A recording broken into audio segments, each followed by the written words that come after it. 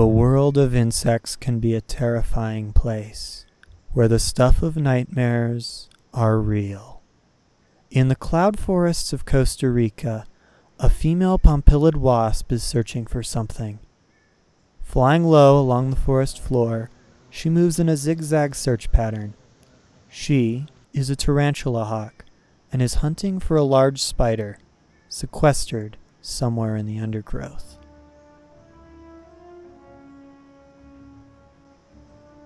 As a nectivore herself, she is not hunting for food. She has something else planned. She detects her quarry on a sapling and closes in. In a flash, she stings the spider. Her sting is incredibly powerful, and now all she has to do is wait, grooming herself while the venom courses through the spider's body and takes effect. She must still be careful, though, as the spider can still dig its fangs into her body if she comes too close before her venom has fully taken effect. She must also remain vigilant to the surrounding area. Another wasp may try to steal her prize.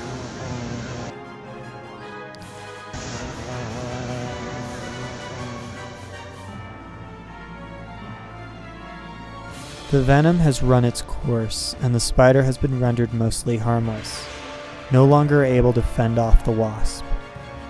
She lunges at the arachnid and stings it again. On the back of the spider, she is safe. Her added weight and the effect of more venom finally makes the spider lose its grip and fall to the forest floor.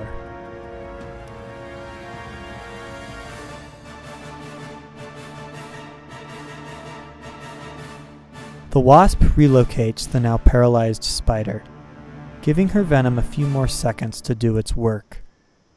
The spider is still alive, just unable to escape or fight back. Tarantula hawks are parasitoids. She will lay a single egg on this spider. The larva that will hatch from the egg will burrow in and begin eating the spider alive. After a few weeks, it will pupate and then burst out.